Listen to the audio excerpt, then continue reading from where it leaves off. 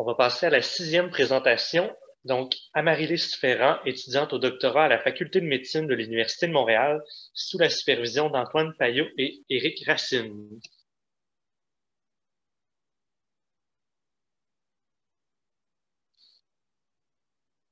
On ne t'entend pas, Amaryllis. Vous m'entendez? Oui, très bien.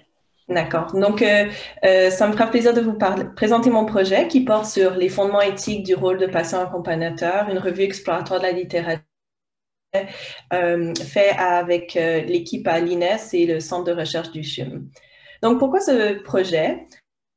Les accompagnateurs qu'on étudie, ce sont des patients qui ont déjà vécu un problème de santé et puis qui vont accompagner des de soins. Par exemple, en soins de fin de vie, on peut aider le patient à naviguer les us et les coutumes du monde hospitalier. Ils vont offrir leur expérience sur les traitements les soins, ou des fois juste être une main espoir. Ces patients, ils apportent un soutien dont la portée et l'ampleur est très, très variable selon les milieux cliniques.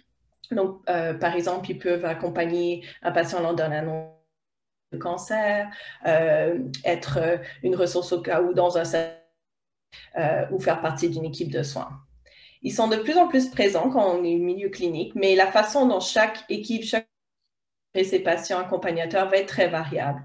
Par exemple, ça peut être dans certains cas des bénévoles, d'autres fois des employés, tenus ou non par des entrevues. Ils peuvent être euh, plusieurs par service ou bien un seul pour tout un hôpital.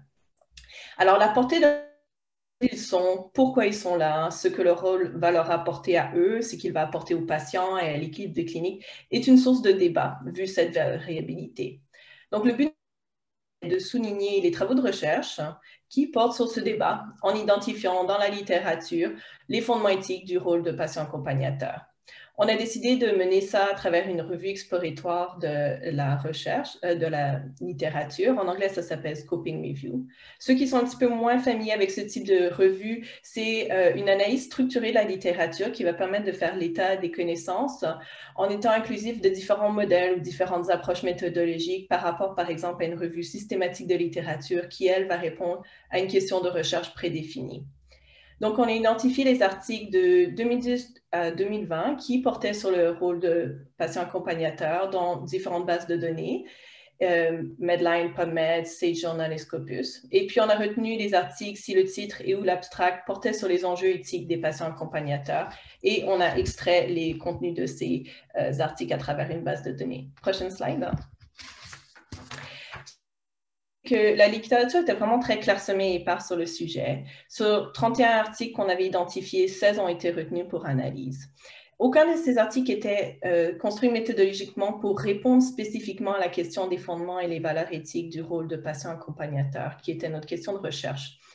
Il y avait un plus grand accent sur les défis éthiques que sur les fondements éthiques, mais les fondements finissaient par ressortir de façon secondaire dans les articles lorsqu'ils parlaient des enjeux. Ces enjeux, ils se répartissaient en trois catégories. La première, c'était des enjeux au niveau personnel. Donc, euh, par exemple, manque de vision commune entre les différents patients accompagnateurs, manque de connaissances pour des accompagnements difficiles, comment faire, manque de cadre d'évaluation pour évaluer la pratique des euh, patients accompagnateurs hein, et comment continuer, faire avoir de la rétroaction.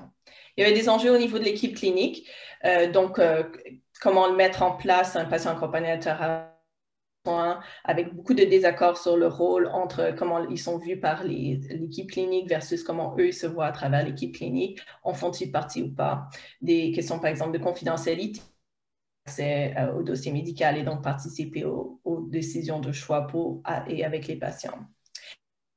Au niveau institutionnel, donc comment sélectionner les patients accompagnateurs, doivent sont-ils bénévoles? Sont-ils employés? Si ce sont des employés, est-ce qu'ils doivent se souscrire aux valeurs de l'Institut?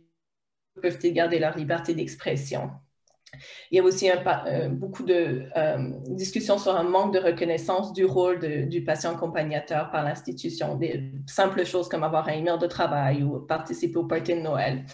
Euh, et on a vu, par exemple, lors de la crise de la pandémie, ben, tous les programmes de patients accompagnateurs ont été interrompus ici au Québec. Donc, en conclusion, on retrouve dans la littérature peu d'études sur les valeurs sous-jacentes à ce rôle.